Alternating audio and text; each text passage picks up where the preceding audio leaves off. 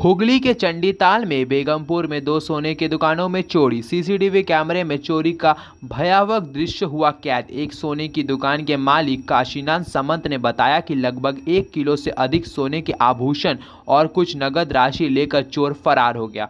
दुकान में रखा सारा सोना लेकर चोर निकल गए। शादी के सीज़न से पहले इतनी बड़ी चोरी से सोने की दुकानों के मालिक में हड़कंसा मच गया है। बेगमपुर के सुपरमार्केट में दोहरी सोने की दुकानों में हुई इस तरह की चोरी की घटना पर चंडीताल पूर्वांचल व्यापारी समिति के सचिव देवाशीष लाहा ने कहा कि सीसीटीवी फुटेज में एक चोर को दो दुकानों के शटर तोड़ते हुए देखा जा रहा है, लेकिन सुरक्षा गार्ड मौजूद होने के बावजूद इतनी बड़ी चोरी कैसे हुई और उस समय सुरक्षा गार्ड क्या कर रहे थे, इसे लेकर सवाल उठ रहे हैं।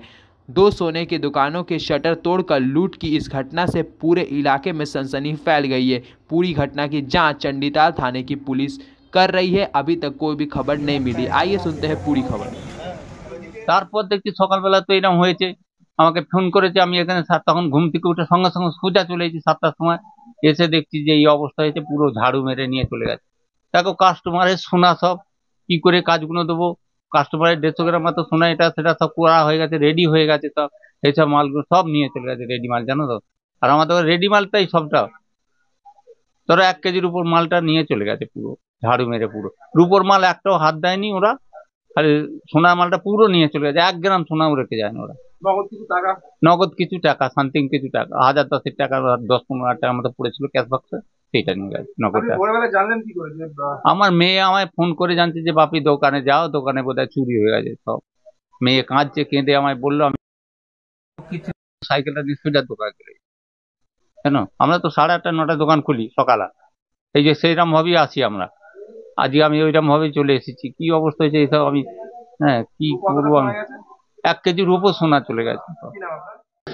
বেগমপুর পূর্বাঞ্চল ব্যবসায়ী সমিতির আন্ডারে যে পদ্মশ্রী সুপার মার্কেট আছে, ওই সুপার মার্কেটে দুটো জুয়েলারি দোকানে ব্যাপক ক্ষয়ক্ষতি হয়েছে।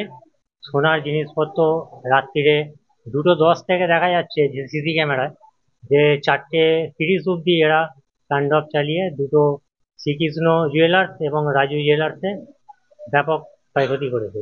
এখানে সিসি ক্যামেরা ফুটেজে দেখা যাচ্ছে যে একজন ব্যক্তি কাজটা করছে।